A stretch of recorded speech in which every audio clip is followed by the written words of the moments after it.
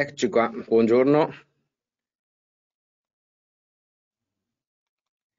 Vediamo un po' invece con me quelle che sono le novità relative all'ambito magazzino, della versione 2023H. E brevemente, perché comunque ci sono poche cose, alcune delle quali comunque quasi da, da considerare delle pietre miliari, diciamo così. Allora, lanciamo la presentazione colleghiamo anche ad un iDesk magari.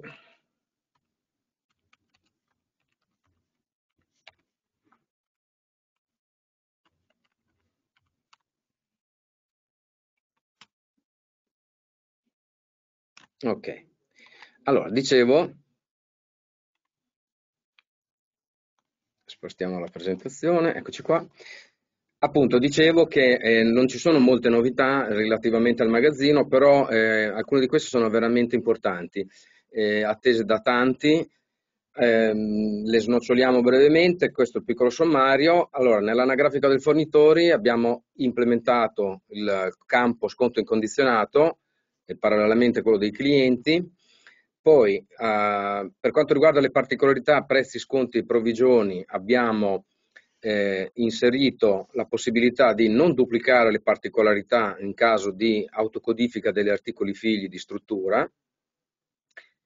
Per quanto riguarda invece il discorso dei lotti, abbiamo eh, implementato una gestione che permette di replicare e riportare anche sui lotti già movimentati le eventuali modifiche al tipo controllo carico, in emissione e revisione documenti la possibilità di applicare le particolarità anche sulla modifica di righe già presenti e per ultimo, non meno importante, anzi forse il più importante, da emissione revisione documenti la possibilità di applicare le condizioni commerciali in caso di modifica dell'intestatario documento o comunque delle condizioni commerciali del documento. Vediamo insieme allora, eh, cominciamo con l'anagrafica fornitore, semplicemente qui non serve neanche andare a vedere il programma, sapete bene nelle eh, condizioni diciamo, di gestione e automatismi del magazzino relativamente ai clienti fornitori, anche nei fornitori è stato eh, implementato il campo sconto o maggiorazione incondizionato, dove posso inserire naturalmente sconti, in questo caso nell'esempio abbiamo il 20% di sconto, e perché no anche delle maggiorazioni. Chiaramente in caso di presenza di particolarità eh, sconti, queste naturalmente hanno la priorità perché ricordo che la priorità appunto è questa, se c'è uno sconto particolare vince quello, collegato appunto al fornitore in questo caso, se non c'è la particolarità allora prendo lo sconto incondizionato, che è appunto questo nuovo campo che abbiamo implementato in anagrafica, nelle condizioni, altrimenti viene preso lo sconto derivato dalla tabella sconti in quantità o per ultimo la tabella sconti normale. Parliamo invece adesso delle particolarità, prezzi, sconti, provvigioni. Allora abbiamo implementato questa opzione che permette di non duplicare le particolarità del padre quando vengono creati gli articoli figli in ambito appunto di codici strutturati. Che cosa vuol dire questo? In pratica nella tabellina delle cioè diciamo nell'anagrafica della struttura, di ogni struttura, all'interno dei parametri, se è stato scelto di fare il riporto particolarità, in questo caso nell'esempio vi ho mostrato P, ecco, è stato abilitato un nuovo campo, il nuovo parametro duplica particolarità, che normalmente è attivo. Okay? Questo significa, come nelle versioni precedenti, che il programma, quando viene creato in automatico un figlio, quindi c'è l'autocodifica di un articolo figlio, poiché si è richiesto di riportare anche le particolarità del padre, lui che cosa faceva e fa? prende la stessa particolarità che trova sul padre o comunque sull'elemento eh, che è stato dichiarato nei dati per creazione e la eh, va a riportare nelle particolarità tale quale. E quindi che cosa vuol dire questo? Vuol dire che nelle, nelle particolarità io mi ritroverò una, cento, mille volte, a seconda di quanti figli vado a generare dall'autocodifica, tutte uguali, perché in sostanza lui le duplica esattamente identiche a quelle del padre, dopodiché uno le può sempre modificare, questo ovviamente, però nel caso in cui non le vada a modificare, che cosa ho? Una, eh, un incremento eh, enorme, se vogliamo, di queste particolarità, tutte uguali di fatto, perché sono tutte uguali a quelle del padre. Allora in questo caso noi che cosa abbiamo fatto? Se vado a spegnere questo parametro nuovo, duplica particolarità, il programma non crea, non va a duplicare la particolarità, ma usa sempre quella del padre anche per i figli. Quindi quando mi troverò ad usare in emissione e revisione dei documenti un articolo figlio strutturato, il programma andrà a vedere se per quell'articolo figlio nelle ehm, particolarità è presente la particolarità del padre. A quel punto prende quella senza bisogno di andare a creare un'anagrafica apposita del, all'interno delle particolarità stesse. Quindi questo significa risparmiare un sacco di spazio in questo archivio delle particolarità che è molto usato e che sappiamo eh, in alcune installazioni crescere molto molto di dimensioni e quindi eh, diciamo così per ottimizzare la gestione appunto della, eh, dell'archivio delle particolarità abbiamo dato questa possibilità qua. Ovviamente se l'utente decide poi di creare la particolarità per il figlio, chiaramente il programma prende quella, quindi se in anagrafica delle particolarità trova la particolarità del figlio, la prende, altrimenti prende quella del padre, purché naturalmente qui l'opzione sia spenta quindi parametro settato a no. Ok? Eh, terza cosa, qui si tratta di una funzione di servizio eh, abbastanza richiesta, cioè, allora faccio piccola premessa iniziale, parliamo dei lotti. Allora, quando vado a creare un lotto, eh, è possibile naturalmente nei parametri di tipo lotto definire un parametro che riguarda il carico. Tipo controllo carico in sostanza permette di controllare, lì tra l'altro nella slide ho, un, ho, preso un riassunto dal manuale, permette di controllare con dei messaggi bloccanti eh, durante il carico di, del, diciamo di magazzino del, del, lotto appartenente a questa tipologia eh, con vari diciamo, eh, livelli di eh, ristrettezza, di, diciamo così, di, di controllo. Ehm, allora, quando creo la prima volta il tipo lotto, lui mette l'M in questo tipo controllo, cioè per documento, che è, diciamo così, in assoluto il controllo più stringente, perciò viene controllato addirittura che il lotto non sia caricato, sia caricato scusate, da un unico documento. Quindi se io faccio un, carico, un documento, con un, carico un lotto con il documento X, una volta che quel lotto è stato caricato non lo posso caricare più con nessun altro documento. Quindi molto restrittivo.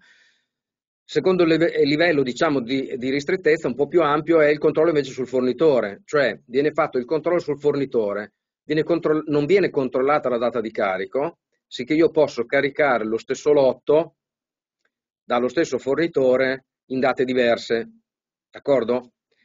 Altra possibilità, ancora meno, restring- meno stringente, è il controllo sulla data di carico. A questo punto il programma non controlla il fornitore, e posso caricare più volte lo stesso lotto anche da fornitori diversi, ma la data deve essere la stessa. E l'ultimo, il meno stringente di tutti, invece è articolo.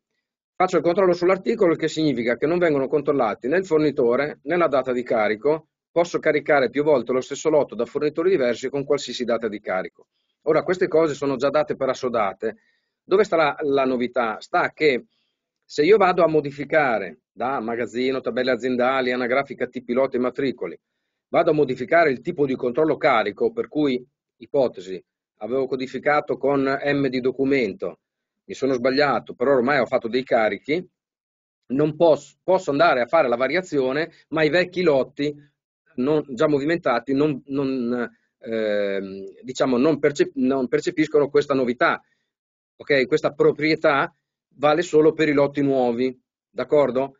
Ecco, allora che cosa abbiamo fatto? Abbiamo fatto che nella funzione di servizio, eh, variazioni magazzino, varia dati lotto, abbiamo, tra l'altro si può in questo caso anche andarla a vedere, magazzino, varia dati lotto, abbiamo cambiato anche il, il nome del menu, tra l'altro, ok? Abbiamo fatto che cosa? Abbiamo innanzitutto aggiunto il campo di selezione tipo lotto, così che io posso prendere tutti i tipi lotti, di, cioè tutti i lotti di una certa tipologia, tutti in blocco, senza dover fare da codice a codice, eccetera. E come vedete in questa opzione chiedere anche di fare la modifica del tipo eh, controllo carico a livello anagrafico anche sui lotti già movimentati, in modo tale che anche quelli già caricati magari una settimana fa possano, diciamo così, essere caricati nuovamente con altri documenti o con altri fornitori, eccetera, eccetera. Ecco, in questo modo quindi portiamo la variazione, d'accordo, ehm, del tipo controllo carico non solo sui lotti nuovi che verranno generati, che verranno caricati, ma anche su quelli eh, già esistenti.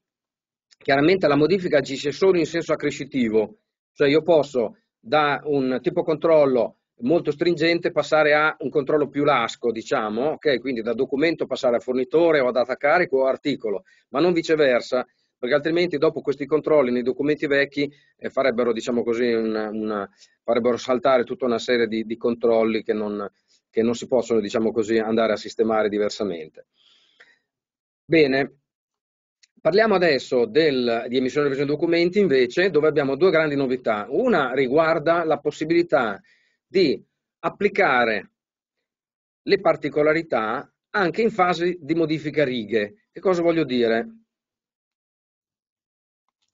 Allora, se io per esempio vado a creare un documento di un cliente dove vado magari ad inserire un articolo e su questo articolo magari ho delle particolarità, proviamo magari a prenderne uno. Ok, se io qui per esempio metto quantità 10, lui mi riporta le particolarità sconto, le particolarità provvigioni, eccetera, eccetera. Chiamo lo stesso articolo, giusto per farvi vedere, modifico le quantità, cioè modifico un elemento che va in qualche modo ad agire poi sul prelievo delle particolarità, quindi potrebbe essere la quantità oppure il prezzo, lo sconto, eccetera, e lui mi fa vedere, come vedete, riga nuova, mi fa vedere che variando le quantità ottengo prezzi, sconti e provvigioni diverse, giustamente. Ok? Ecco. Che cosa succede? Che se io torno nella riga precedente, mi sono sbagliato, non era di 1, era quantità 10, vengo qua, vedete che non, lui non cambia il prezzo, non cambia gli sconti, non cambia quindi neanche le provvigioni.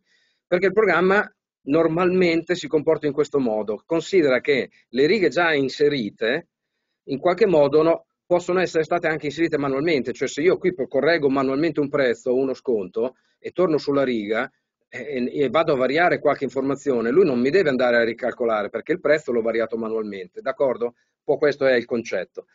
Però che cosa succede? Che abbiamo fatto allora, siccome questa è una richiesta da, da, da lungo tempo, abbiamo fatto in questo modo, abbiamo detto di eh, applicare di creare diciamo, un nuovo parametro di magazzino, andiamo a vedere, pagina 2, eccolo qua più o meno verso la fine della pagina, vedete proposta particolarità anche in modifica righe documento. Se lo attivo e confermo, se rifacciamo la prova di poco fa, quindi faccio una bolla, chiamo il mio cliente, chiamo l'articolo, di nuovo quantità 1, lui legge per la prima volta le particolarità e me le propone, ok? Altra riga nuova, quantità varia, quindi lui a questo punto va a vedere se ci sono particolarità in base alle quantità e dice ok, allora il prezzo è quello, lo sconto è quello, la provvigione è quella, eccetera, eccetera. Ora, col parametro attivo cosa accade? Che anche se la riga precedente era già stata scritta, se io torno sopra e vado a modificare un elemento che va in qualche modo a eh, recuperare, ad aggiornare, diciamo, quelle che sono appunto le particolarità di riga, il programma me le riporta anche sulla riga già inserita. Eh? Quindi questa è la novità in sostanza. Con un parametro, ok? Posso andare, chiaramente parametro spento per le aziende già presenti perché appunto non vogliamo modificare l'operatività. Invece abbiamo deciso di attivarlo invece per le nuove aziende, però chiaramente è un parametro, si può accendere e spegnere e quindi dopo di conseguenza agite, agirete come meglio credete. Chiaramente se il parametro attivo, quando modifico sulle righe documento un qualsiasi elemento che interagisce con le particolarità, quindi adesso io vado a vedere la quantità, ma potrebbe essere il prezzo sugli, sugli sconti oppure gli sconti sulle provvigioni per esempio, ecco che il programma riporta automaticamente senza messaggi le nuove condizioni, quindi lui ripropone semplicemente come se la riga fosse nuova, eh, per essere più chiari. Eh, il parametro vale per tutte le particolarità, sia per i documenti nuovi che i documenti in revisione. Se il parametro è spento, le particolarità vengono proposte solo sulle nuove righe come facciamo una volta, quindi sostanzialmente come siamo abituati a vedere. Ultima novità, io sono andato velocissimo anche perché i colleghi mi hanno lasciato poco tempo, ehm, però mi sembra molto facile tutto quello che vi sto facendo vedere, quindi sinceramente ecco, non, non, avrei potuto occupare più, più, più tempo, diciamo. Ecco, l'ultima novità eh, molto interessante è il discorso applicazione condizioni commerciali in caso di modifica intestatario. Cosa vuol dire? Quando noi lavoriamo su un documento, okay, può capitare che stiamo preparando un documento, magari abbiamo dentro 20 righe, 30 righe, 50 pagine di articoli e poi ci accorgiamo l'ultimo, ah ma non era questo il cliente, era un altro. Bene, allora se lo andiamo a cambiare, quindi ne prendiamo un altro diverso, ci assomiglia come nome ma non è lui, che cosa fa il programma adesso? Mi avvisa, qui non c'è un parametro, semplicemente mi dice guarda che io ho cambiato le condizioni del documento, sarebbero variate le condizioni del documento, vuoi applicarle oppure no? Se faccio ESC, quindi no, lui lascia tutto così come si trova, problemi non ce ne sono. Se invece vado a modificare, eh, diciamo confermo la variazione, naturalmente devo cambiare conto, ok? Lui se ne accorge con F10 o sì col mouse, cosa fa il programma? Prende e riporta le condizioni, adesso in questo caso sono tutte particolarità, per cui facciamo meglio la nostra prova prendendo magari un documento già esistente. Ok, eccolo qua. Vedete che io ho già delle condizioni scritte, potrei avere scritte a mano, potrebbero derivare da particolarità, eccetera, eccetera. Se io le vario, vario il conto, lui mi avvisa, sono variate, le vuoi variare? Sì, con conferma, come vedete adesso i prezzi sono variati, gli sconti sono variati, eccetera, eccetera, perché ha preso le condizioni dell'intestatario nuovo.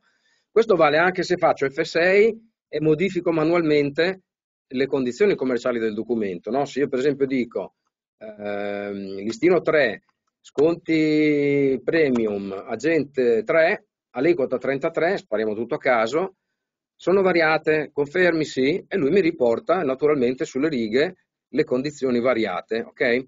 Questo avviene se nel documento ci sono delle righe, eh? se il documento in questo caso per esempio è nuovo e io chiam, chiamo un cliente, non c'è nessuna riga sopra, io cambio di nuovo, eh, non succede niente, cioè non mi avvisa di nulla, visto che ancora righe non ce ne sono, lui deve ancora inserirle.